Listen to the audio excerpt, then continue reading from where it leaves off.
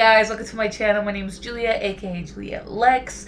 Today I kind of just want to talk about the Stanley Hotel, which I previously mentioned in my last video, which is called 10 Movies You Should Watch During This Halloween Season. Um, yeah, that was my very first video, and I am very truly, truly, truly thankful and appreciative to everyone who watched it because, yeah, was my first video, and I was a little bit scared.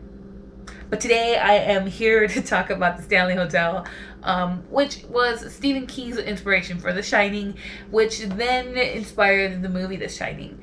So, yeah, why not talk about it today and give you guys a little bit of facts, some history, and some cool, cool, um, just some cool stuff. Let's just do this. Let's do this now. All right. So, um, in 1903, F.O. Stanley's wife arrived at Estes Park searching for some fresh mountain air.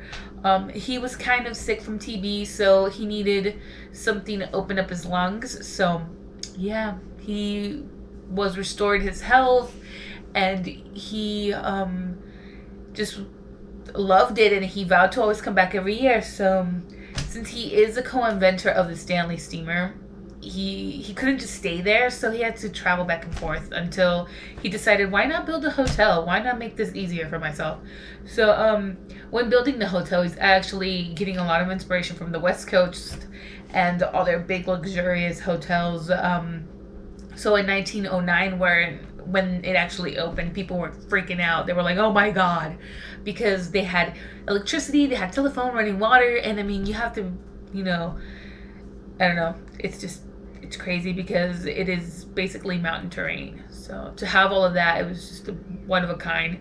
Um, yeah, so it was um, it was a luxurious um, stay for all the wealthy people in the 19, 1900s. So in 1970, the hotel gained recognition and attention for being haunted. Um, although many believed it was just a legend until 1974 when author Stephen King and his wife stayed at the hotel on the last night before it closed down for the winter. So they were alone on that night. Um, they stayed in room 217 where it is said that a woman died in the 1950s um, which is crazy. Um, no wonder he wrote the book, right? So um, he witnessed children playing, um, laughing. He heard disembodied voices, some footsteps, and um, yeah, now we have The Shining. So just kind of think about it like, did he actually see everything that he wrote about, or is it really just a book? I mean, there's a lot of rumors about this place and all its crazy history that maybe he didn't make it up. Maybe he actually saw all those things. It's pretty creepy. Also, um, since it was based on the location, it was not filmed there. Um, the only movie that I know to my knowledge that um, has been filmed there or partially filmed there is Dumb and Dumber and another crazy story about that. Um, Jim Carrey actually stayed in room 17. Um, he stayed there and he freaked out. So, middle of the night, started freaking out and demanded to ch- change um, buildings to just change rooms. He was just not having it. I probably wouldn't. That's pretty creepy, but I like creepy stuff. So maybe, maybe I would just suck it up and stay there.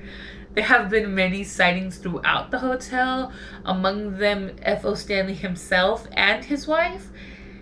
There's um, been um, documented that his wife actually, you can hear her playing and see her playing her piano at times, which is fascinating to say the least. Uh, just so interesting to me.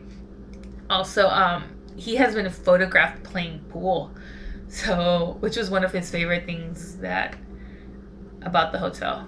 They had a pool room. So yeah, he actually you can actually see him there sometimes. Um yeah. There seems to be a lot of um other things about there like children's voices and children playing. So yeah, go online, check it out. YouTube has a lot of cool videos about this. Um I don't really trust TAPS and um what's the other one? Ghost Hunters. I don't know, I feel like it's scripted at times. But if you guys like it and if you think it's interesting, go watch it. I actually did.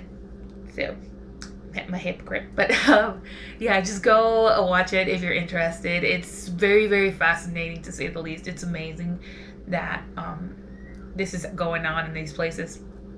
So yeah. Oh, another creepy fact: they actually have their own psychic medium on on location, which is creepy. Oh, and they don't let children under the age of five go on these ghost tours, which happen during the day. And if you're lucky enough, they'll have some during at night. So, yeah. Yeah, that's pretty much it for me. This is kind of just like a rambling video. It's all over the place, but I don't know. I just decided to talk about it because I like weird stuff like this. Um, and why not? Why not tell you guys what I know, what I've heard, what I've seen from other YouTube videos, which is not very reliable, but I don't know. Thought it was be, I thought it would be fun to just tell you guys and talk about it. Also, um, I already said thank you, but I just want to say thank you again because I appreciate all your support and your love. It means a lot to me. It really does. I'm about to cry. But it does. Um, also, um, let me know in the comments. Would you stay at this place? Do you want to see more of these weird rambling videos about weird locations that I know of? Because I know a lot of places like this that I've been personally fascinated with. And I'm the type of person that, like, if I find something and I see something, I try to find out everything about it. And I just, a lot of knowledge up in here although it seems like it's not. There really is when it comes to weird stuff like this. Um so yeah let me know. Would you stay at this place? If you would would you stay with me? We can go together. I'll hold your hand. Yeah.